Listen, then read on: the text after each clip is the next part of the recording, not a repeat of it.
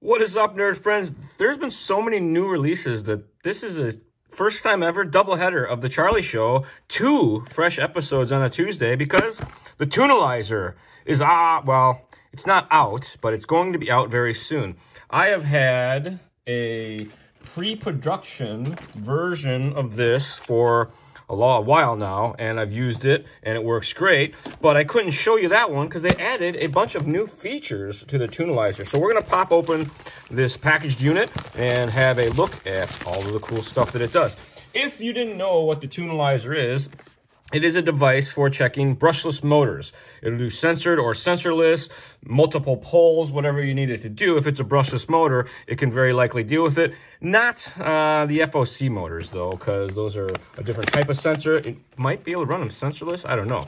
But Box has a very cool Hobbywing case in it. And I hope my boss is watching, because boss, send me some empty cases like this. This is great for cameras and all tools, part trail parts, all that.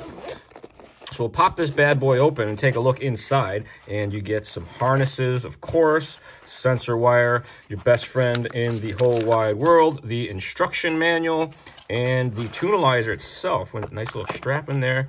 The screen has a protective covering on it, which you get to peel off. The button's got one too. Peel that off. And there is your Tunalyzer. So what this does is it is able to run a brushless motor. It's got a speed control inside of it. We're going to get all these wires hooked up and show you some of that. Oh, boss man, we're going to need some more of these too. That All my cables need those. So the top of it's marked, as you can see, ABC with a plus and a minus. 3.5 millimeter bullet plugs. And then on the top, there is a sensor port as well for your sensor wire doesn't just test motors. This guy will also double as an OTA so that you can use the Hobbywing app and connect through the box using Bluetooth to your, to your speed control to get information out of it, negative so, and positive. And this guy powers up and you get inside, shows you your voltage. There's an auto motor test, which will run the motor by itself, give you information. There's manual, so you can crank it around. And then throttle output for like testing speed controls. So for this guy, I have a, a G4 17.5 and we're gonna plug this in, do a motor test and show you the feature. It tells you several things. The rotor symmetry, the sensor symmetry, and what that is is how equal they are, if you will so that you can tune your motor, swap sensor boards, all that fun stuff that spec motor racers love to do. That's a little bit, if I'm honest, over my head these days. It's been a while. But let's do a manual motor test just so we can do that. It asks you for the number of poles. You hit enter. So in the manual mode, you have your test voltage. So this has a regulator inside that keeps the voltage the same. So as your battery discharges, you get the same test voltage, which is kind of nice. And that is adjustable. So you can see you can turn the motor up and it starts to run the, or turn the dial and it starts to run the motor and you get some output information, KV, RPM, the amp draw, and your rotor symmetry, which is the, how equal the magnet is as far as the charge on the angle of the north and the south. So we turn that on. So that's the basics on the manual motor test. You can also go into your settings and you can change your test voltage. You can adjust your test voltage there, uh, 3.4 or 7.4. Let's do a 7.4 run. And in the auto motor test, you do get a little bit of extra information. So you're gonna, you know, put a finger on the motor, run the auto test. Okay, it's a little bit faster than in the 3.4 volts. And once that's done, you get your test voltage, obviously, current again, KV, your end bell timing, and you can see those individually. But you, so you get all that normal information, and then you can scroll down and you get bonus information, your end bell deviation, your rotor asymmetry, your Hall signal deviation, as well as the test temperature of the motor, because that can affect all that. And then you can back out of there and get back to your start screen. So the throttle output allows you to test uh, speed controls, basically. You can plug a speed control input harness into the end here and do throttle output testing. So I'm going to do that. I have a Fusion sitting next to me because I just did a video on the Fusion. If you haven't checked that out, please do.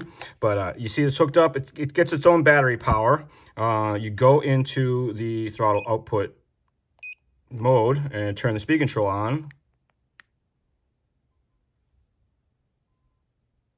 that comes on, and then you get, you can ramp the throttle up and down. Pretty cool. So it allows you to have a benchtop way to test speed controls without having to bust out your radio gear. I think that's great because I have to do stuff like that often. So this also works much like an OTA does. You can connect to the Hobbywing HW Link V2 app. You can find that in your app store. Open that guy up, tap on the connection, and you see right there our Hobbywing BLE. It tells you that the default, or I think the default password is going to be all eights.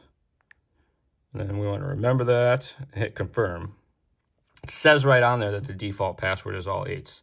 Once that connects, you can go in, check for firmware updates, and if I had a speed control hooked up that was compatible, it would be able to show us that as well, but I do not. But it does allow you to use this instead of your uh, your OTA if you're doing some benchtop testing and stuff like that. So pretty cool. But that is sort of a quick first look at the Hobbywing Tunalyzer, your tuning analyzer for your bench. I'm going to be real popular for the spec motor guys.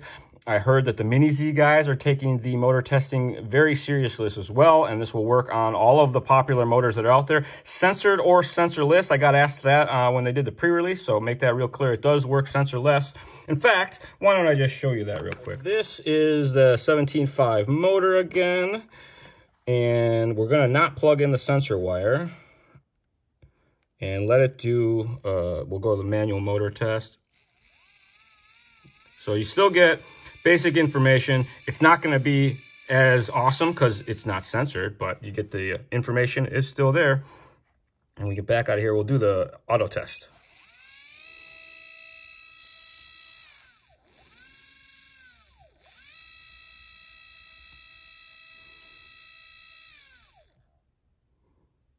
And of course, it doesn't tell you the timing because it's sensorless, but you do get some basic information for comparison's sake. Well, there you have it, folks. A quick look and I guess a feature rundown of the Tunalyzer, your tune analyzer or motor tuning device, benchtop tester. You can do more than just motor testing because you can check speed control and all that fun stuff also. And it does, like I said, work as an OTA to do speed control tuning with the HW Link V2 app. If you do have any questions, comments, or concerns, please shoot us an email, northamerica at hobbywing.com, and we'll be happy to get you sorted out with some very direct answers.